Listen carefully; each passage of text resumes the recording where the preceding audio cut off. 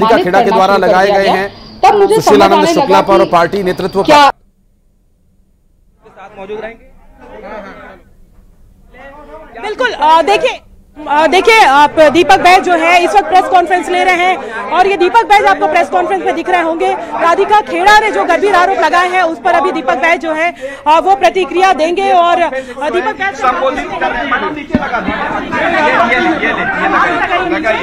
हैं मैं सीधे दीपक बैज जो है over to Deepak Baij. Press conference संबोधित कर रहे हैं। सर आप लोग खड़े जाओ खड़े। जी बैठ जाएँगे। सर सर आज एक घटनाक्रम ये हुआ है सर। राधिका खेड़ा ने प्रेस कॉन्फ्रेंस करके कहा है कि सुशील आनंद शुक्ला ने भारत जोड़ो यात्रा के दौरान जो है शराब ऑफ़र किया था। रात को एक बजे दरवाज़ा खटखटाते से सुने सुशील आनंद शुक्ला जी।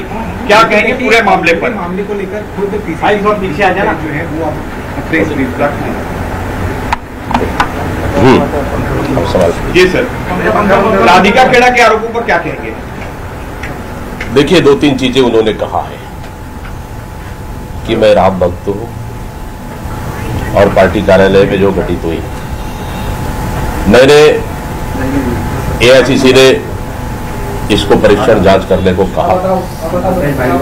मैंने जाँच किया और रिपोर्ट मैंने एआईसीसी को भेज दिया है। रही कांग्रेस कार्यालय की सुरक्षा की बात, कांग्रेस कार्यालय में आज भी आप देखेंगे, चाहे कंट्रोल रूम हो या फिर हमारा वॉर रूम हो, सभी जगह महिला कर्मचारियाँ आज भी काम कर रहे हैं और वो सुरक्षित हैं।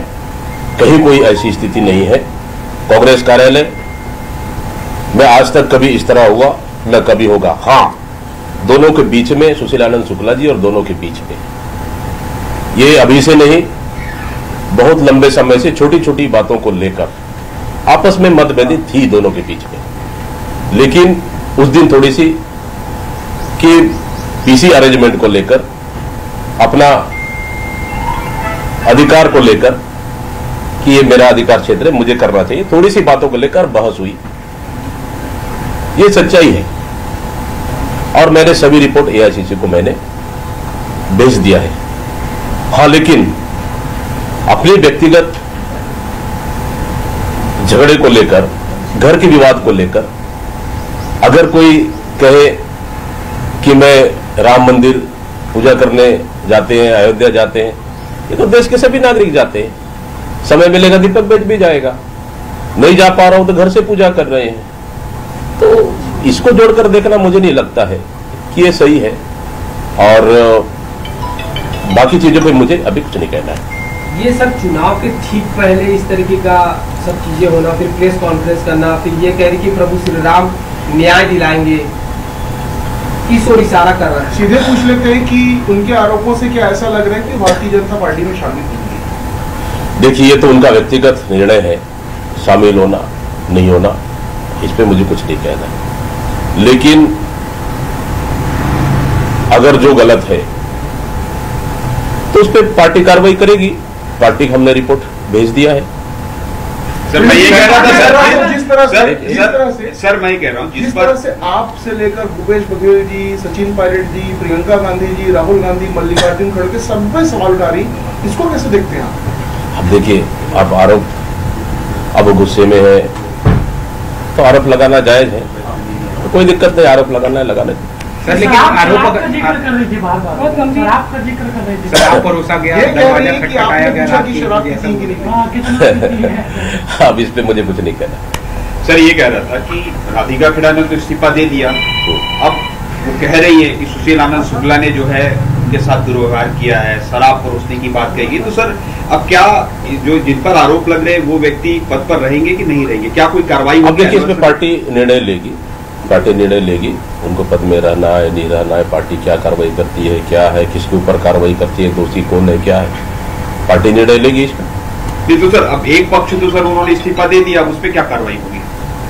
अब इस्तीफा देने के लिए तो हमने तो नहीं कहा उनको। वो तो उनकी मर्ज़ी इस्तीफा दी है। तो उनका व्यक्तिगत निर्णय है। सर वो यह भी बोल रही थी कि भूपेश बघेल ने मुझे बोला है कि आप छत्तीसगढ़ छोड़कर भाग जाइए। आप कांग्रेस पार्टी मत छोड़िए। जब वो बोली कि मैं छोड़ देती हूँ कांग्रेस पार्टी तो उन्होंने कहा कि कांग्रेस पार्टी मत छोड़िए लेकिन छत्तीसगढ़ छोड़ दीजिए। अब उन दोनों के बीच में क्या बात हुआ? अब इसको मैं तो कह नहीं पाऊँगा। सर जिस तरह के वो आरोप लगा रही तो पार्टी अपनी तरफ़ से कोई एक्शन लेगी? क्या कोई नोटिस भेजेगी अब देखेंगे। अभी देखेंगे। हम लोगों ने जाँच रिपोर्ट बना के आईसीसी भेज दिया है। आगे जो भी पार्टी का निर्णय होगा खिलाफ इसमें- नोटिस देखेंगे उस पर ठीक है सर ये आप बोले सुशील जी से। एक मिनट। सॉरी माफ़ी चाह ठीक है। मैं कर लेता हूँ। नौ घंटे उन ना? नौ घंटे है। क्योंकि एक घंटे वन लोगे हाँ, और यार हाँ, जी साहब शुरू हो जाओगे फिर। ठीक। है। फिर मेरे लिए ठीक। हाँ। सर एक उस पे और बोल दीजिए। कल इलेक्शन है सर। सात लोकसभा में चुनाव है। कांग्रेस अपने को कितनी मज़बूत स्थिति में पा रही है? कल प्रदेश के तो आप सुन रहे थे कांग्रेस पार्टी के छत्तीसगढ़ के प्रदेश अध्यक्ष दीपक बैज को जिनका यह कहना है कि वो गुस्से में है। वो यहाँ पर राधिका खेड़ा का ज़िक्र कर रहे थे। राधिका खेड़ा गुस्से में है और ऐसे आरोप लगाना गुस्से में स्वाभाविक है। हालाँकि उनके जो आरोप हैं उस पर, और जिन पर आरोप लगे उन पर भी पार्टी आगे निर्णय लेगी। उस पर क्या एक्शन लिया जाता है, क्या कार्रवाई की जाती है, जाँच में क्या कुछ तथ्य सामने आएँगे, उसके आधार पर निर्णय पार्टी लेगी। हालाँकि कई गंभीर जो आरोप, चाहे वो शराब ऑफ़र करने का हो या फिर कमरे में बंद करने का हो, ये सभी बातें जिस पर कि दीपक बैज अभी कुछ भी बोलने से बच रहे हैं। उनका कहना है कि इन विषयों पर मैं अभी कुछ भी नहीं बोलूँगा। और पार्टी इस संबंध में जब निर्णय लेगी, उसके बाद जो भी निर्णय होगा पार्टी का, वो निर्णय लोगों के सामने रखा जाएगा। राधिका खेड़ा की प्रेस कॉन्फ्रेंस के बाद आप सुन रहे थे कांग्रेस पार्टी के छत्तीसगढ़ के अध्यक्ष। के अलावा किसी की चलती नहीं। तो दीपक बैज जी ने भी वो महिला से पूछ लिया, शराब पीती हो? थोड़ी पीती हो? ज़्यादा पीती हो, कितनी पीती हो? और उस महिला को राजीव भवन में कमरे में बंद करके भद्दी गालियाँ दी गई। वो महिला का कितना सम्मान है?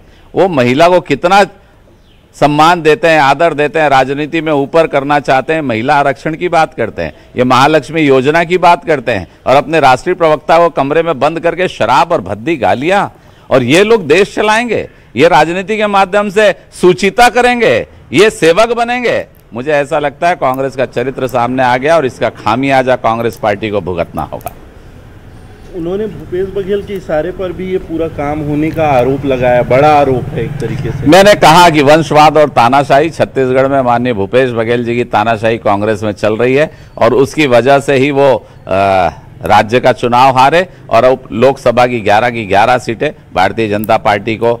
मुझे ऐसा लगता है कि अपनी गलतियों के आधार पर जनता से दूर होते चले जा रहे हैं। जिस कांग्रेस और शिवम प्रताप हमारे सहयोगी दिल्ली से इस वक्त फ़ोन लाइन पर जुड़ गए हैं। शिवम राधिका खेड़ा की प्रेस कॉन्फ्रेंस के बाद से कांग्रेस पार्टी की क्या अभी तक प्रतिक्रिया आ रही है? केंद्रीय नेतृत्व क्या इसके बारे में कुछ बोलने को तैयार है? क्योंकि छत्तीसगढ़ प्रदेश अध्यक्ष का कहना है कि पार्टी निर्णय लेगी पार्टी जाँच के बाद जो फैसला लेगी उसे हम बताएँगे मीडिया के बारे में। अभी वो गुस्से में इसलिए वो कुछ भी बोल रही हैं हाँ, देखिए, निश्चित तौर पर आज काफ़ी टाइम बीत चुका है, लगभग पाँच से छह दिन हो गए ये पूरा प्रकरण हुए, लेकिन कांग्रेस पार्टी ने इस पूरे मामले पे चुप्पी साथ रखी है। जैसा कि आपने बताया कि कांग्रेस के जो स्टेट प्रेसिडेंट है, उनका कहना है कि उन्होंने अपनी जानकारी एआईसीसी को ट्रांसफ़र कर दी है और अब वो आगे ही कार्रवाई करेंगे। क्योंकि राधिका ने ऑलरेडी कांग्रेस पार्टी से रिजाइन दे दिया है, ऐसे में उनकी शिकायत पर कितनी कार्रवाई होगी, ये देखने वाली बात होगी। लेकिन आज राधिका खेड़ा ने बहुत बड़े और संगीन आरोप पार्टी हाईकमांड के साथ साथ स्टेट की जो पूरी लीडरशिप है उसको घेरा है।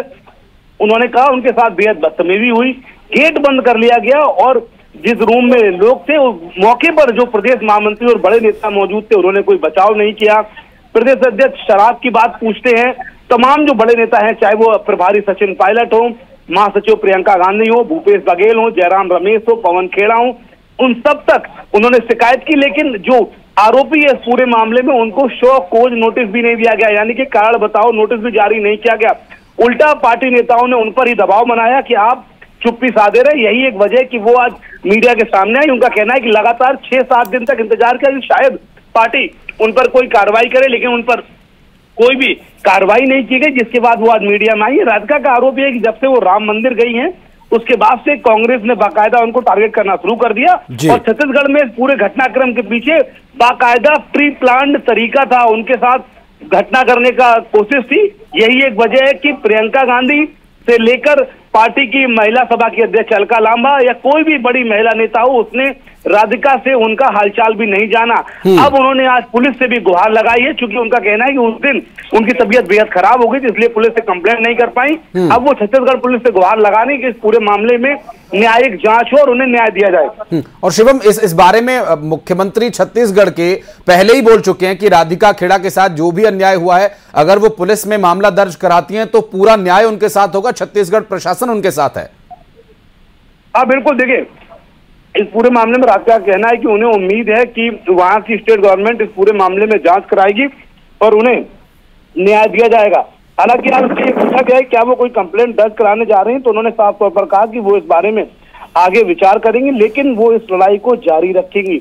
ये बड़ी बात है कि उन्होंने पार्टी के तमाम जो बड़े स्तर के नेता हैं, उन पर भी संगीन आरोप लगाए। उन्होंने कहा कि किसी भी नेताओं ने उनकी बात नहीं सुनी। यहाँ तक कि उन्होंने आरोप लगाया कि प्रियंका गांधी के लिए ढाल बनकर प्रियंका गांधी भूपेश बघेल के लिए ढाल बनकर खड़ी हो जाती हैं और भूपेश बघेल बिल्कुल मैं शिवम आपके पास फिर लौटूँगा। हमारे सहयोगी आकाश इस वक्त हमारे साथ जुड़ गए। आकाश राधिका खेड़ा की प्रेस कॉन्फ्रेंस में कई गंभीर आरोप कांग्रेस पार्टी और उनके नेताओं पर लगाए गए। और उसके बाद कांग्रेस का भी जो रिएक्शन है वो बड़ा नपा तुला बड़ा सधा आया कि अभी कुछ भी नहीं कह सकते केंद्रीय नेतृत्व निर्णय लेगा।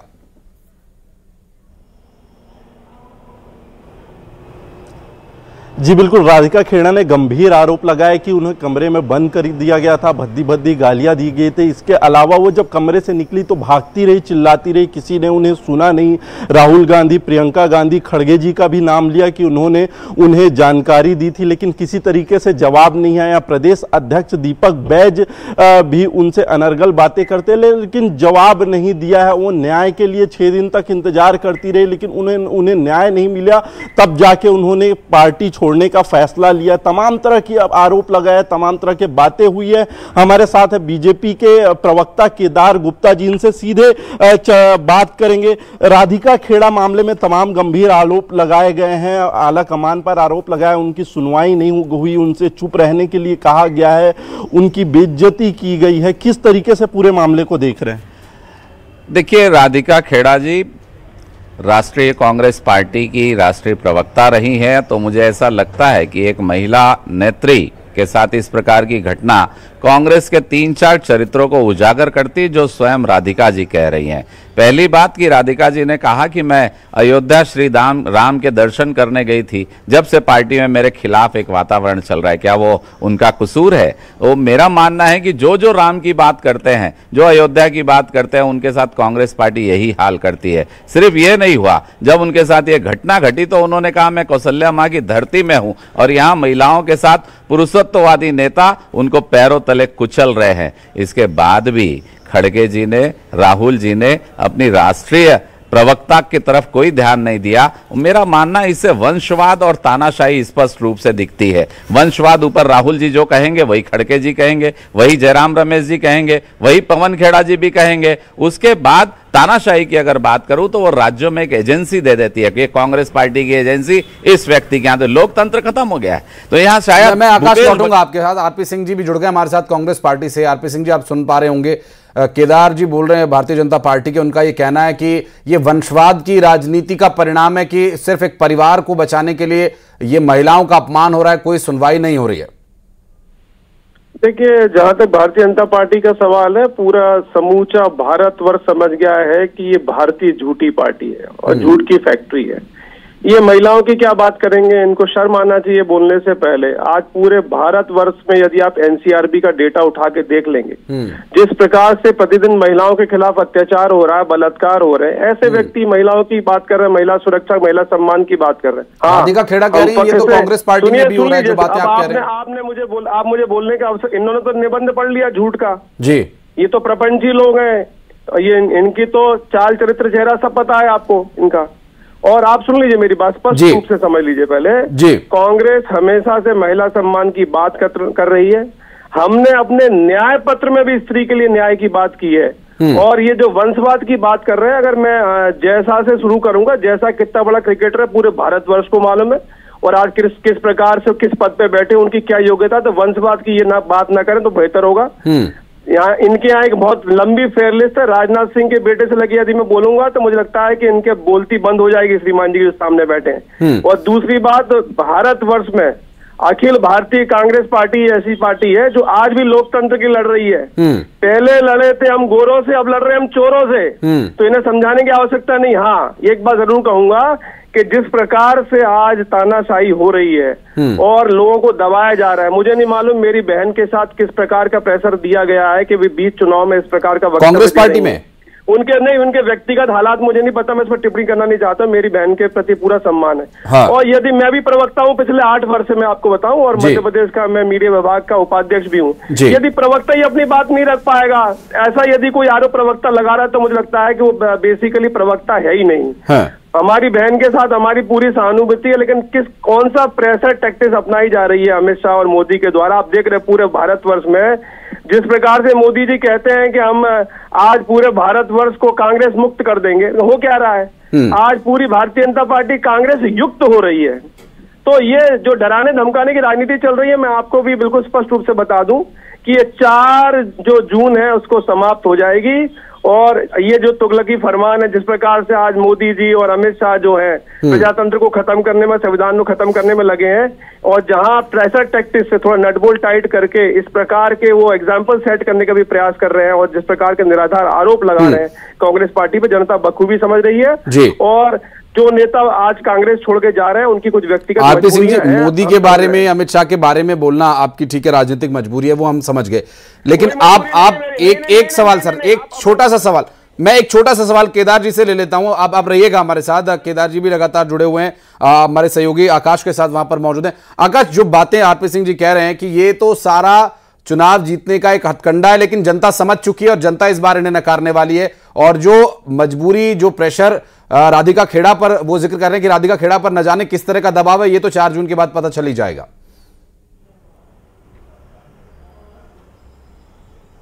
जी केदार जी, कांग्रेस आरोप लगा रही है कि राधिका खेड़ा पर किस तरीके से दबाव है, क्या वो बीजेपी का दबाव है, इस तरीके से आरोप लग रहे हैं?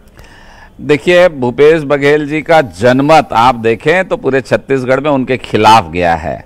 तो क्या हमारा कांग्रेस के ऊपर दबाव था, इसलिए चुनाव हार गए क्या? ये अपनी करनी को खुद ही भोगना पड़ेगा। महिलाओं के साथ इनका जो दुर्व्यवहार है, वो बहुत सामने आ रहा है। दबाव कैसा? वो तो लगातार डिबेट में बैठती थी, मैं भी उनके साथ डिबेट में बैठता हूँ। कांग्रेस का पक्ष बहुत जोरदार तरीके से रखती थी, परंतु महिलाओं को बर्दाश्त नहीं करती कांग्रेस पार्टी। अगर कोई महिला बर्दाश्त होगी तो खाली सोनिया जी, प्रियंका जी। ये पहली महिला थोड़ी है। और राधिका जी ने एक फहरिस्त गिना दी महिलाओं की। लगातार चाहे अर्चना गौतम की बात हो, चाहे चतुर्वेदी की बात हो, लगातार उन तो मेरा मानना है, ये अपनी करनी है और इन्हीं के सर फूटेगी। अरे जब बोया पेड़ बबूल का तो फूल कहाँ से होए? तो निश्चित रूप से मेरा मानना है कि कांग्रेस पार्टी ने जो अत्याचार दुराचार छत्तीसगढ़ में एक महिला के साथ किया है और उन्हें भद्दी गालियाँ दी है शराब पीती है क्या मुझे कमरे में बंद कर दिया है क्या? वो मेरा मानना है इससे छत्तीसगढ़ भी बदनाम हुआ है और इसकी पूरी की पूरी अगर कोई जवाबदारी तो कांग्रेस पार्टी और उसके नेताओं की है। उन्होंने एक और बड़ी बात कही कि राम मंदिर वो रामलला के दर्शन के लिए गई थी उनका बदला भी निकाला गया है। इस आरोप को किस तरीके से देख रहे हैं? हाँ जिस दिन से वो अयोध्या श्री राम भगवान के दर्शन करने के लिए गई थी, उस दिन से कांग्रेस पार्टी में मानसिकता आ गई थी कि ये हिंदू संस्कृति परंपरा और भारत देश की संस्कृति में जीने वाली है। इनका कांग्रेस में कोई काम नहीं है। इनका जो वोट बैंक और तुष्टिकरण की नीति है, वो आधार नहीं बनता कि ये राम के दर्शन के लिए जाए। और उन्होंने अपने ट्वीट में लिखा कि माँ कौशल्या की धरती में हूँ, राम के ननिहाल में हूँ। तो और सांप लौटने लगा कांग्रेसियों का। अरे, ये कैसी बात करती है? राम की बात करती है? कौशल्या की बात करती है? तो वंशवादी लोगों ने तानाशाही नेता को आदेश किया कि इसका काम तमाम कर दिया जाए। और जैसा होना था वैसा हुआ। कांग्रेस पार्टी में महिलाओं के लिए कोई स्थान नहीं। ये क्या महिला आरक्षण की बात करेंगे? जिस समय ये तमाम घटनाक्रम चल रहे थे आरोप लग रहे थे उस समय प्रियंका गांधी का भी छत्तीसगढ़ दौरा हो रहा था फिर भी किसी तरीके से सुनवाई नहीं हुई। ये भी आरोप राधिका खेड़ा ने लगाया अरे राधिका जी ने तो कहा ही था मैं लड़की हूँ लड़ सकती हूँ प्रियंका जी आई है। अरे मैंने भी प्रेस ब्रीफ में लेकर कहा था आप मौजूद थे उसमें कि प्रियंका जी आई है। हम मांग करते हैं कि मनेन्द्रगढ़ जाने के पहले वो छत्तीस छत्तीस रायपुर आए और रायपुर में राधिका खेड़ा जी के मामले में सुनवाई करें, बैठे, बहन बहन का दुख दर्द बांटती है तो अच्छा लगता है, पर पुरुषों के हवाले कर दिया और वो भी कमरे में बंद करके, बद्दी गालियाँ शराब की बातें, एक राजनीतिक पार्टी को, और कहते हैं, हम सबसे पुरानी पार्टी है, और हम अंग्रेज़ों के साथ लड़ाई लड़े हैं। अरे, महात्मा गांधी ने ठीक कहा था कि अब कांग्रेस को खत्म कर देना चाहिए। कांग्रेस में वो विचारधारा नहीं दिख रही है और ये बात करते हैं आज़ादी की लड़ाई की और एक महिला के साथ बदसलूकी और महिला खुद यहाँ पर छत्तीसगढ़ प्रदेश में कहकर ये आरोप लगा रही है ये भाजपा नहीं कह रही है। ये उन्हीं के नेता और केदार जी मैं लौटूँगा आपके पास। आरपी सिंह जी हमारे साथ लगातार कांग्रेस पार्टी से उनसे भी इस पर रिएक्शन लेते हैं। आरपी सिंह जी केदार जी जो बातें कह रहे हैं आप सुन पा रहे होंगे। इस पर अगर आपको कोई जवाब देना है तो आप बोल सकते हैं नहीं तो मैं अपना प्रश्न करूँ। और लगता है आरपी सिंह जी से संपर्क टूट गया है। अभी आकाश, आप रहिएगा हमारे साथ। ममता लांजेवार हमारी सहयोगी इस वक्त हमारे साथ मौजूद है। ममता, प्रेस कॉन्फ्रेंस, दीपक बैज ने भी की, या फिर यूँ कहें कि करवाई गई उनसे सवाल जब इतने सारे हो रहे थे, बड़े सधे और बड़े नपे तुले अंदाज में उन्होंने कहा कि पार्टी निर्णय लेगी, पार्टी ही जो कहेगी कहेगी। अभी वो कुछ भी कहने की स्थिति में नहीं है।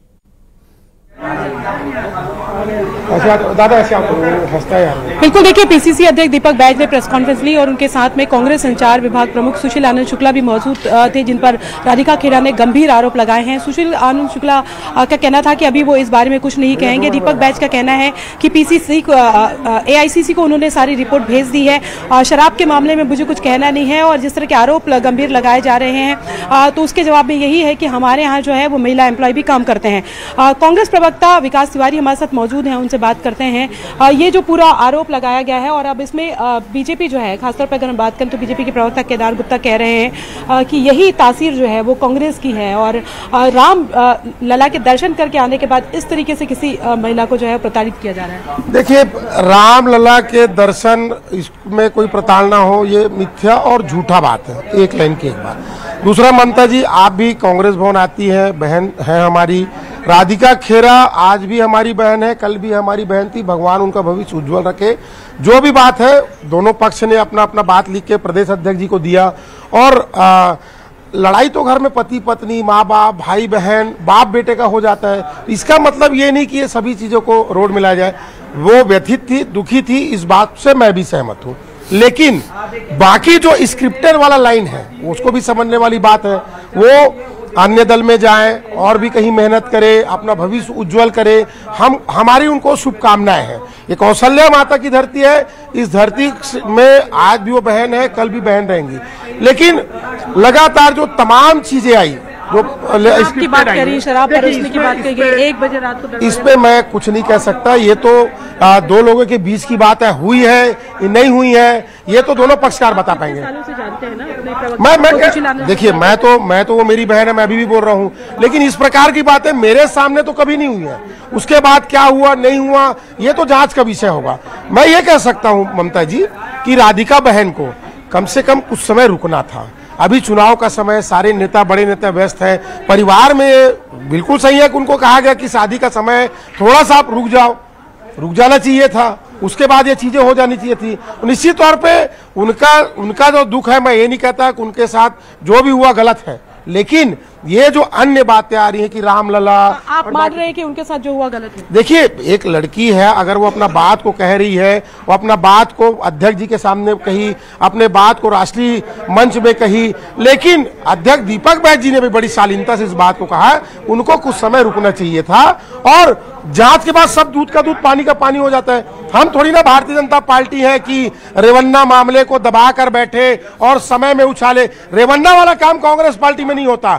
हम आज भी कोई भी जाँच के लिए मैं आपके राष्ट्रीय चैनल में कह रहा हूँ किसी भी प्रकार की मतलब जाँच एक, छोटा सा सवाल लीजिएगा क्या जाँच अभी भी जारी रहेगी? लोगों को बचना चाहिए। अभी जाँच अभी भी जारी रहेगी? जाँच जारी रहेगी? देखिए ये तो पार्टी आला कमान का बात है प्रदेश अध्यक्ष जी का बात है है प्रदेश ठीक अध्यक्ष है आकाश आकाश हमारे सहयोगी लगातार हमारे साथ जुड़े हुए आकाश केदार जी से भी एक प्रश्न लीजिएगा। कांग्रेस पार्टी के प्रवक्ता ये कह रहे हैं कि जो हुआ, गलत हुआ महिला अगर बोलना चाह रही है, उसे नहीं बोलने दिया गया, ये भी गलत हुआ, लेकिन उन्हें ये देखना चाहिए था कुछ समय रुकना चाहिए था, कुछ समय चुप रहना चाहिए था, पार्टी के अनुशासन को मेंटेन करना चाहिए था।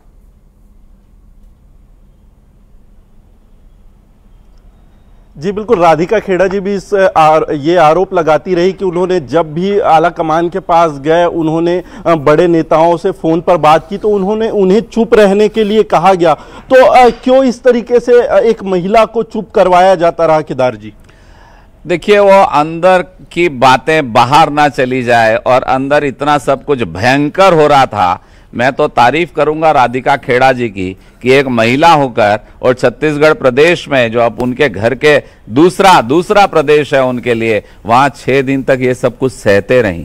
कांग्रेस पार्टी में अनुशासन तो नहीं है, पर वो अनुशासित कार्यकर्ता के रूप में छह दिन तक गुहार लगाती रही, कभी कुछ नहीं बोला। और आज ये बात सामने आई कि चुनाव है, राधिका जी, आपको चुप रहना चाहिए तो क्या खाली लोकतंत्र के लिए की बात ये अंदर खाने में होती है? अगर कोई कार्यकर्ता छह दिन से चिल्ला रहा है, तब उसकी बात नहीं सुनी जाती और उसको इस्तीफा देना पड़ता है। तो मेरा मानना है, कांग्रेस में लोकतंत्र खत्म हुआ है इन्हें भय था कि इनकी कारगुजारियाँ बाहर आ जाएँगी। राधिका जी ने अगर मुँह खोल दिया तो इनके वोट जो थोड़े बहुत गिने चुने मिल रहे हैं, वो भी टूट जाएँगे। और महिलाओं को ये बात मालूम चल जाएगी कि कांग्रेस महिलाओं के बारे में जो कहती है ठीक उसका विपरीत करती है। अरे राजीव भवन, कांग्रेस पार्टी का प्रदेश का भवन, जहाँ अन्य नेता बड़े बड़े नेता रहते हैं, वहाँ एक महिला को कमरे में बंद करके गालियाँ दी जाती है, शराब की बात की जाती है। ये किस ओर ले जा रही है कांग्रेस पार्टी? ये देश की संस्कृति के साथ खिलवाड़ है, मैं कहता हूँ।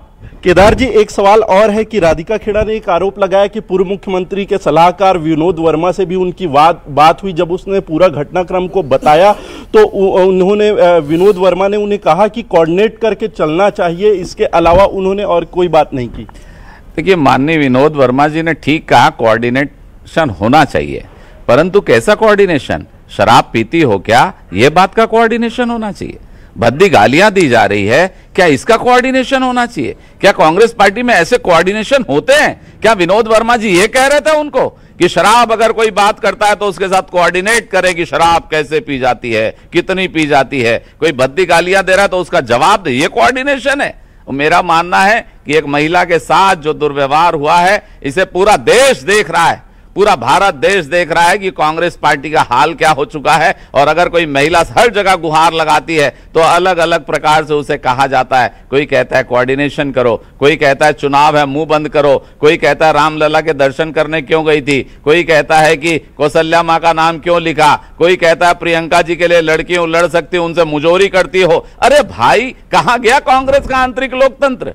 जी एक सवाल और है कि छत्तीसगढ़ में एक आरोप है कि मामला दबाने का प्रयास किया जा रहा है, लेकिन आला कमान जो है, राहुल गांधी, प्रियंका गांधी, खड़गे जी, तमाम नाम सामने आ रहे हैं। उनकी चुप्पी क्यों है? देखिए, मैंने कहा एजेंसी दी हुई है, हिसाब किताब बराबर है, जहाँ से आ रहा है, उनकी बात सुनी जा रही है। और जो पार्टी के लिए मेहनत कर रहा है, एजेंसी वाला नहीं चाहता तो उसे धकेला जा रहा है।